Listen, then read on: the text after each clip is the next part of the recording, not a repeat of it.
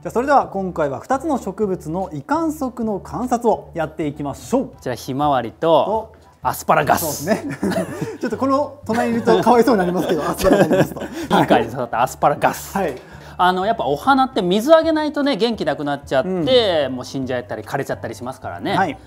どうやって水をね全身に届けているかっていうね実験を観察で確かめていきましょう。かはい、お願いします。はい。これまあ水を吸ってるんですけど、はい。これをまず色水に変えてみましょうか食紅とか、はいインクとかをねこの水にねまず溶かしましょうかはい。観察しやすくするために結構濃いめの液体作りましょうか多分ね学校とかだと先生がね事前に準備してくれてることも多いと思うんですけど、実際はこうやって色水を作っていると。これ混ぜますか？そうですね混ぜてくださいね、薄いのだとちょっとね変化が分かりにくくて観察しにくいので濃いめがいいですね綺麗な色になりますね。ねはいで、水をですね赤くしてから2から3時間くらい、はいちょっと待ってこの植物が水を吸い上げるのを待ちましょうかはい。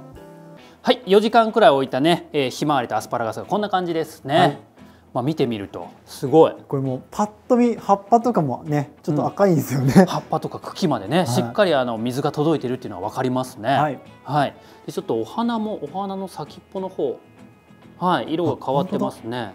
なんかこの茎をね、なんか4等分とかして、はい。4種類の色水とかにつけるといろんな色になったりとかして綺麗だったりしてね、白い花とかでね夏休みの自由研究にやったりとかしますへね。えあそうなんですね。うん。じゃあちょっとこれだとね分かんないので、はい茎の断面とかうん側面をね、切ってみて、はい。であのね水の通り道がどんな風になってるのか観察しましょう。はい。はい、ちょっとカッターでね、えー、と輪切りにしたりとかあと縦にね細切りにしたりして茎のどの部分がね染まっているか観察していきましょう。はい。はい、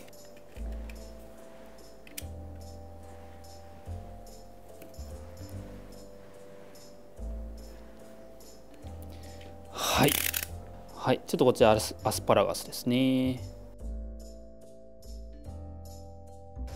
はいはい。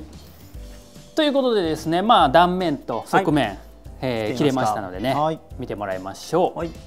えーこちらがねアスパラガス、はい。はい、でこちらがねひまわりですね。そうですね。はい。じゃあこちらの特徴をお願いします。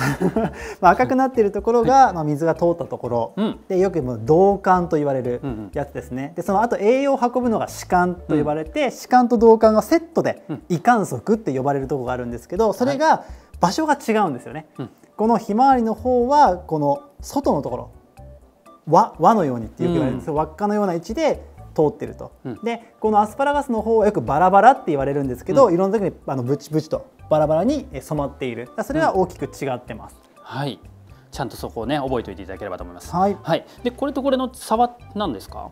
これは単子葉類総子葉類とよく言われるんですが、こっち側えひまわりが総子葉類でアスパラガスが単子葉類と呼ばれるグループのグループ分けがされます、はい。ちゃんとねやっぱりあの体全体に届けるために、はい水とか栄養とかを運ぶ道があるっていうことですね。そうですね、うん。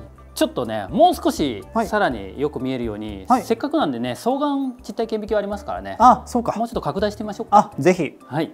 でも思ったより綺麗に出ましたね。茎も切ったりして。そうですね。はい。すごい綺麗に見えますね。そうですね、はい。まあ、移管束の位置はこの2つのグループにも分かれているので、その出会った植物がまあどちらに所属するのかそので所属しているのが分かれば、移管束がどういった位置に配置されているのが分かりますので、ぜひまあね学校で観察された方もいると思いますが、はい。これもね動画何回か見てもらってしっかり押さえてもらえたらと思います。